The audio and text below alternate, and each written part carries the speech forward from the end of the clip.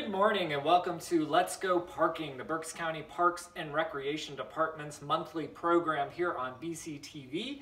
My name is Dan Roe. I'm the Historic Resource Supervisor with the Parks Department. And today I am inside the historic Gruber Wagon Works. And on today's show, we have a really interesting documentary to share with you.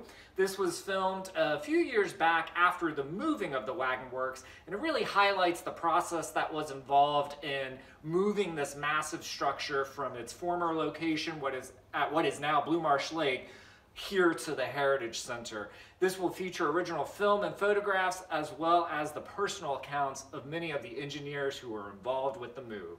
So sit back and enjoy the film. This is the story of teamwork, of opportunity, planning and execution, and most of all of lessons learned, in some instances, the hard way. To many of us today, design build is a familiar type of contract. It has not always been so, particularly in the public sector, even as late as the 1970s. It is a type of product delivery that each state has approached differently, sometimes hesitantly.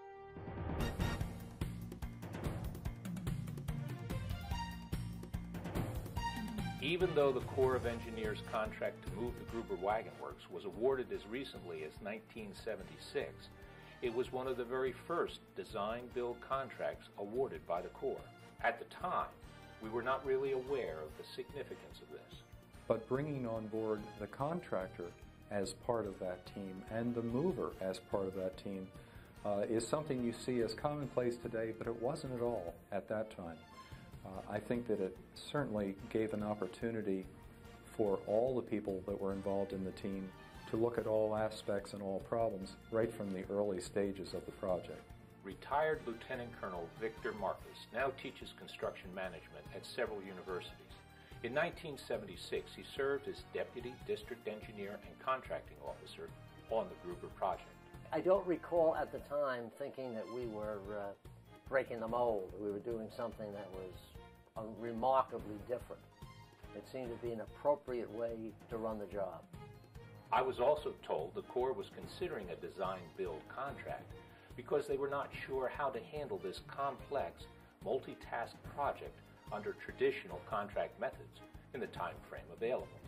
R.S. Cook and Associates would serve as the contractor, and with established bonding, construction insurance, and other legal aspects in place, we became the signatory firm with the Corps of Engineers. But actually, as the general contractor, we could not take credit for assembling the team.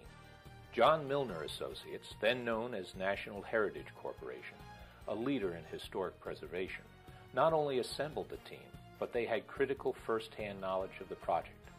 The Milner firm had written the historic structures report that had originally documented the building. We were one of several firms that were interviewed, and ultimately we were selected to execute the HSR. The engineering member of the team would be the firm of Keast & Hood Company, with Carl Baumert as the lead engineer. Their careful techniques of non-intrusive engineering to save and preserve historic masterpieces had already been used to save Independence Hall. But the moving of a 19th century wood structure would present new and different challenges. We had uh, uh, worked with uh, John Milner Associates and the mover on previous moves, but those were masonry buildings. Rounding out the four essential elements of the team would be the house mover. Their input and expertise would be vital to both the design and execution of the move. Van Halling & Sons was an out-of-state firm, and we all knew that might present additional costs, but his knowledge and expertise was vitally important to the team. And of course, in the design-build environment, the owner, or in this case, the Corps of Engineers, can be a vital partner in the team approach. As we studied the project, the age and the intricate but fragile nature of the structure, as well as the scope of the move, became daunting. We're dealing with a structure that evolved over a period of time from uh, 1888 to about 1911. Uh, so it, it was an aggregate structure. It was not built all in one piece. The Gruber family had lived in Berks County of central Pennsylvania. In the rolling hillside, they built their wagon works business in stages from 1882 to 1911, and it has survived as a rare example of a turn-of-the-century family-run factory. Not a historic structure of George Washington slept here, but it's sort of a historic structure that relates to Americana, what built this country. As time went on, they needed uh, more space and uh, made uh, additions in successive years until they had finally the present building, which consisted of at least four different uh, operations. But the add on as you go along approach had also created structural nightmares. If you looked at the building as a structural engineer, uh, you would say that uh, a structural engineer did not design this building. It was a structural nightmare and uh, probably a disaster because there was there were holes where there shouldn't have been. The expected separations would be wherever the addition was put against the building. But uh, to do that, we would have had to cut the elevator structure apart and take that out separately. Uh, the back part would have gone separately. Uh, the forge section would have been separate, but then we would still have a long linear piece of the building, the original part of the building. So many of us credit Henry Ford with the development of the vehicle assembly line, but apparently Mr. Gruber was way ahead of Henry Ford. And as you walk through the Gruber Wagon Works, you can see exactly how that took place from uh, first starting to build the wheels, the wagon wheels, pressing tires onto uh, uh, later assemblages, the building of the carriages, to the last step, which was painting them before they rolled out the door. So the single cylinder Otto stationary gasoline engine at the Gruber Wagon Works drove the forerunner of the American automobile assembly line.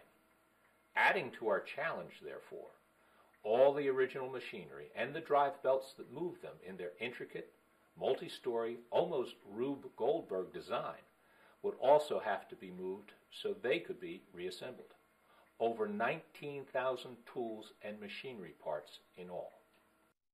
You opened the door and you walked in, and I thought Mr. Gruber had gone home for lunch. That was uh, was almost spooky, and I had been warned.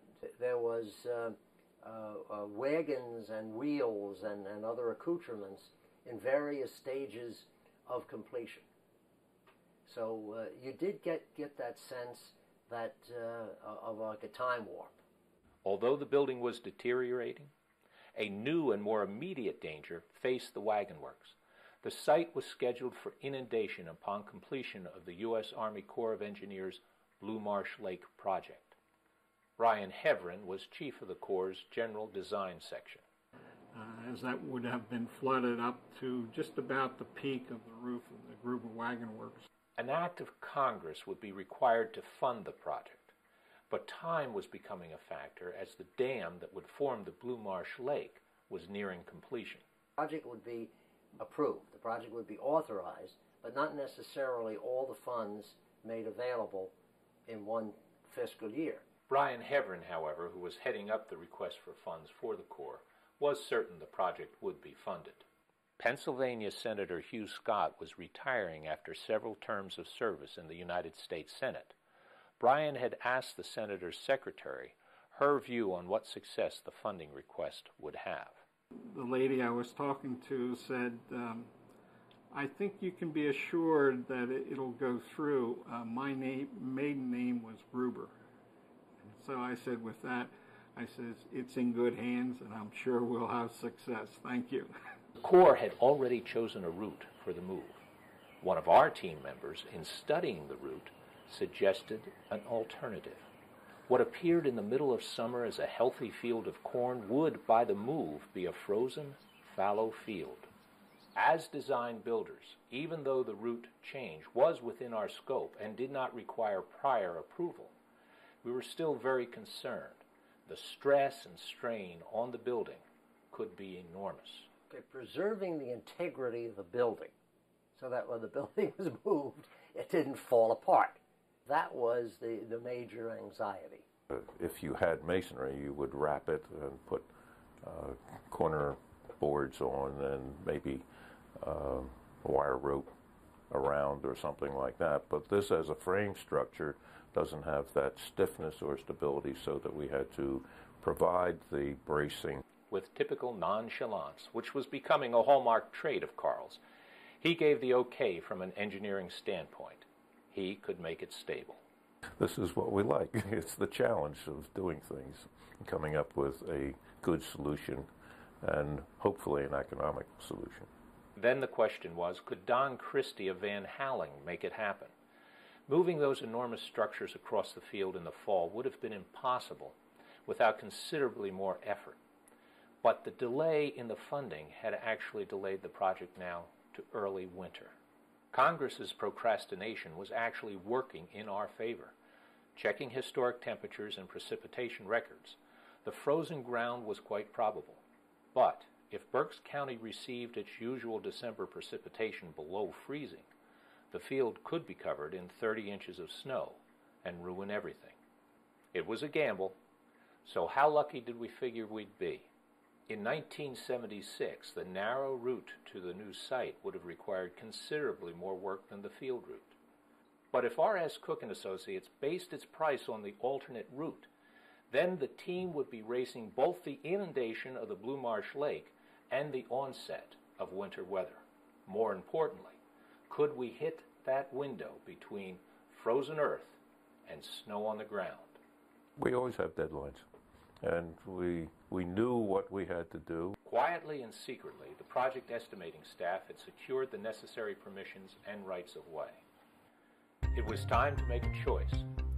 Take the risk and almost surely win the project, or don't take the chance and ride the price of very good but expensive expertise to either victory or defeat. The team assembled by John Milner Associates under the signature of R.S. Cook submitted the low bid, and in July of 1976, while the nation was prolonging the celebration of our bicentennial, we, for that euphoric moment of victory, celebrated being the low bidder. We had won a project that would become a major challenge for each member of the team. Soon, however, in more ways than one, the phrase, now we've got to move it, came home to us. First, that was the terms of the contract to move an extraordinarily large old wood building. And secondly, we had to move it because the lake would soon be covering the site where the building now stood, a building that was looking to me more fragile each time I saw it. Where to cut the building and how to brace it for transport became crucial. Everyone wanted to know how we were going to cut this building in what direction and in what sizes and how many pieces to move it, you know, five and a half miles or whatever it was. This model shows the first four main sections into which the building would be divided. The lush green summer enwrapped the old Gruber Wagon Works, making our preliminary trips after contract award an adventure through the overgrowth. But the summer would too soon give way to the challenges of winter, and each gray sky brought another prospect of snow. Early on, the design build team had to focus on one key factor. The Gruber Wagon Works would have to be restored, and the Corps specifications required all joints to be returned to within a half inch tolerance. There could be no racking of the wood structure during the move, and the new foundations, five and a half miles away, would have to match the existing exactly. If there was uh, a racking or a distortion of the building frame, uh, this could lead to a collapse if, if it went too far. The task of structural stabilization for the mover was more than daunting. It was essential to stabilize the building. Once the uh, planes of separation were uh, decided, then we uh, began working up a plan to uh, stabilize these potentially open ends. When we made the cut, then you would have nothing. Execution of the design became critical and dangerous for our crews that worked diligently but maintained a sense of humor under the pressure. One might assume that the danger is having the building collapse en route. It really, though, I think, is the danger to the workmen, to the craftsmen themselves, as they're doing the cutting and the separation. They have to shore up internal parts of the structures. And because in this case, the structural engineers had determined that shoring had to be placed throughout the structure. Uh, you don't start off with a, an, a naturally safe building. Someone has to go in and cre- create the safe building by placing all the shoring that's necessary as you're doing the cutting and the separating. Buildings that are relocated in pieces are often cut by chainsaws, but the design called for lap joints to be carefully refitted. The parts, therefore, became intricate puzzle pieces, only these pieces were bigger than houses and weighed over 70 tons each. Where we had uh, cuts through the wall plates rather than making a straight cut, which would be an atypical kind of a connection for a historic building, we made half lap uh, joints where you cut uh, vertically down from the top halfway and then vertically up from the bottom offset from that and then connected the two horizontally to make that particular joint. This is a point of separation uh, where we have decided to make a joint, and you can see uh, the openings have been stabilized by building wood stud walls on both sides and diagonal uh, cross members to um, give us the stiffness uh, also, inside, on each side, you will find diagonal members that are there to brace the end section and to uh, provide stiffness in the other direction. A key feature of this was the care that was taken to support each section. This design of, of this temporary sheeting, I think, was critical as the builder, we were also suggesting alternatives. The care and concern about the stabilization of the building was paramount in everyone's thinking. The five and a half mile journey would present many changes in elevation, increasing the chances of racking the old wood structure. Probably the building was, was subjected to the greatest uh, stresses and strains in its lifetime when it was moved. But Don Christie never hesitated about the arduous route. Using a three point approach, the movers would compensate for the changes in elevation. Years ago, when was, my grandfather uh, started to move buildings, everything was moved on four points. Everything had to stay dead level. And of course, in those days, there were no dollies. They used soap and timbers, or graphite and uh, timber slide. And so if you were going up a hill, you, you slid to the hill and then you jacked it up and went a little bit more. Or if it was a slight grade, they might, you know, if the horse could pull it, they would go up the grade with it. But you had to keep everything dead level so that you did not rack the tabletop, so to speak. So moving on three points uh, is the principle of the old three-legged stool. It doesn't matter if one leg is a little bit longer or shorter than the others, the top will not bounce around. It may lean one way, but it's not going to twist.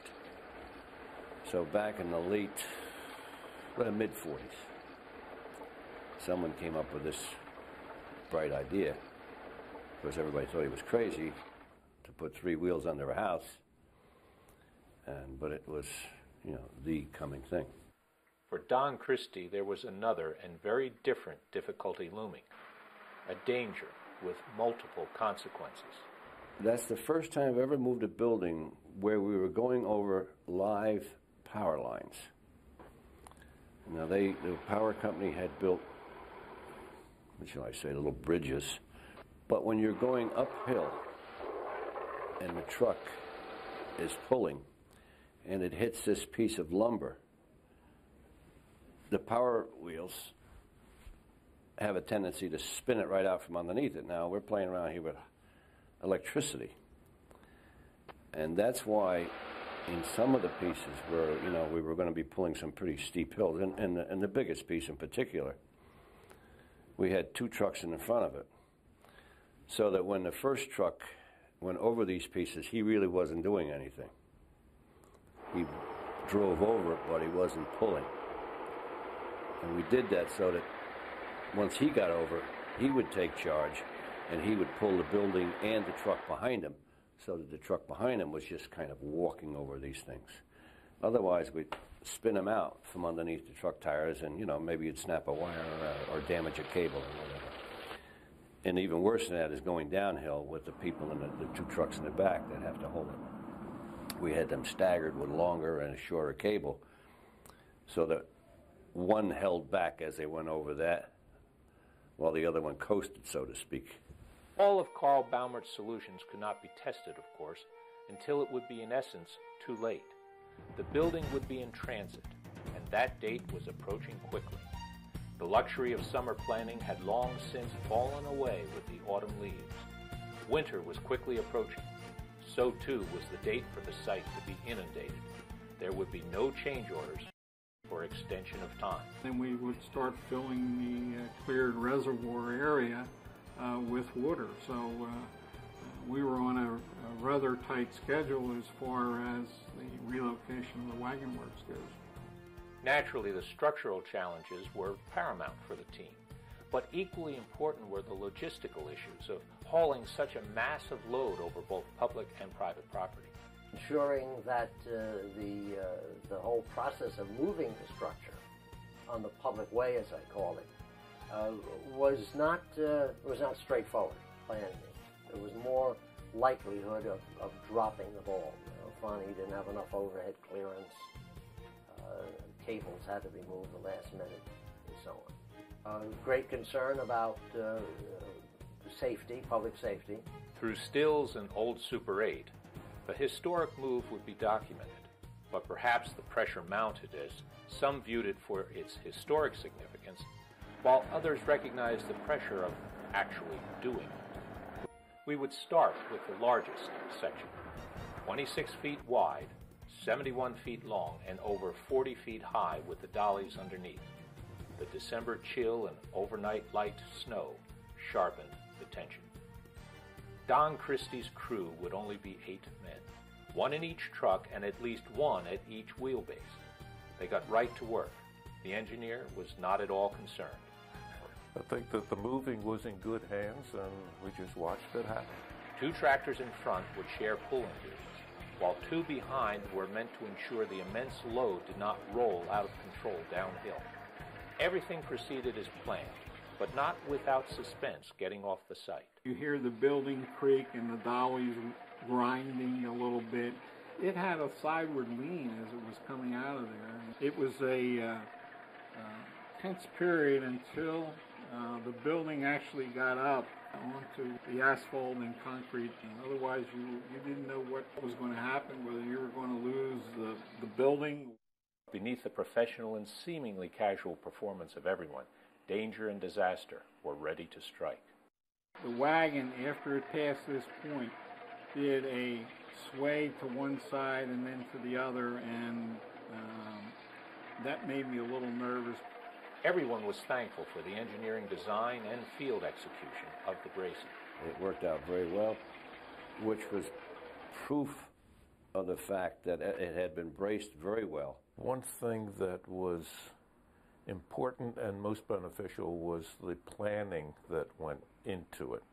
Uh, it was well thought out before anything was done, and then everyone was working toward the same goal. Uh, the the team, a real team approach, was uh, something that uh, went quite well. The planning and craftsmanship would mean a better final restoration, but first the parts had to reach the site, and there were two major challenges facing Don Christie. The first were those seemingly innocent power lines. What to ordinary traffic would be only speed bumps were treacherous obstacles for Don Christie's crew. Again, the engineering proved effective as each line was crossed. The long and arduous move continued through the day. Progress measured in feet, not miles. The second critical part of the move had now been reached the field. I was praying for the coldest weather we could get. The dollies could easily sink hopelessly into the earth under the weight of the building.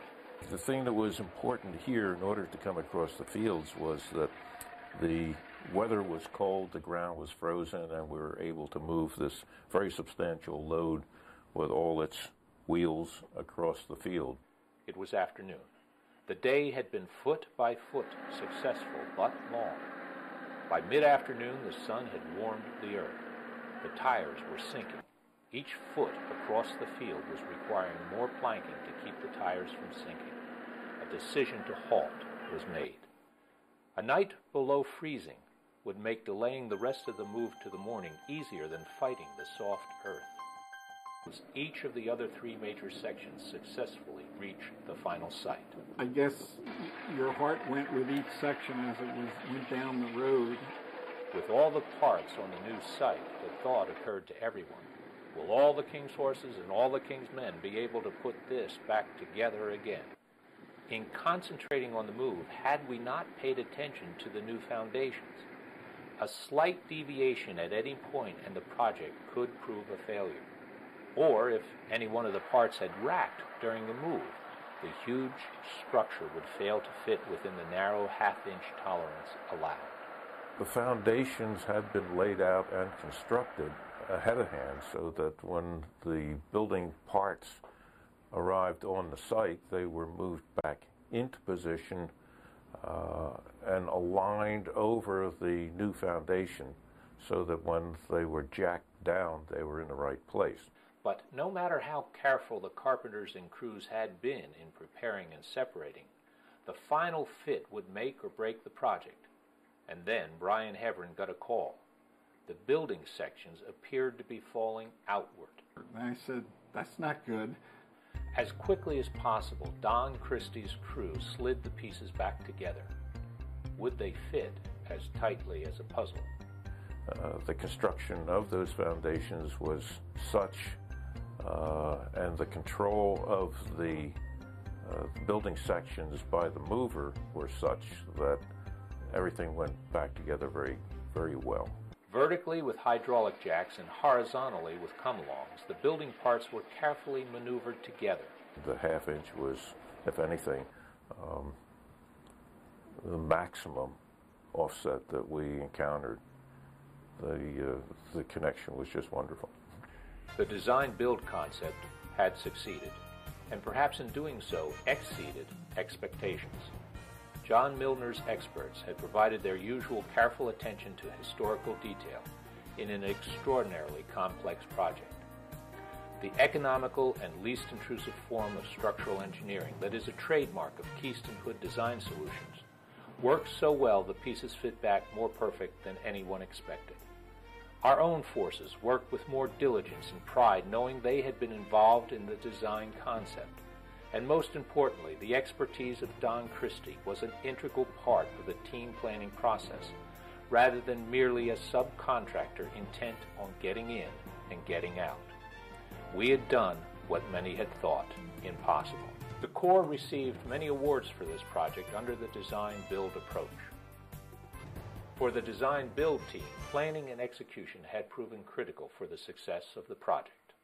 And by joining the responsibility for the design and engineering to the same team that executed the design concept and carried out the construction, the potential for disaster in a challenging project had been turned into a great success, saving a landmark to be enjoyed for generations to come. Of course, in perspective, perhaps this project as the Gruber Wagon Works itself, is a small and almost forgotten part of Americana.